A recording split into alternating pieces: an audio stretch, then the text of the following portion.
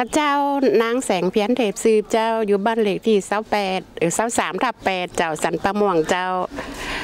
ดอกไม้ที่อยู่หน้าบ้านนี่นะเจ้าเป็นดอกไม้เป็นดอกไม้สมุนไพรเจ้า กินมีประโยชน์ เป็นจะกินนักจะเป็นยาระบายเจ้า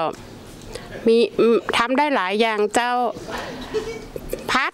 น้ำมันหอย พัดหมูซับ แกงส้ม ต้มจืด ใส่ก๋วยเตี๋ยวได้เจ้า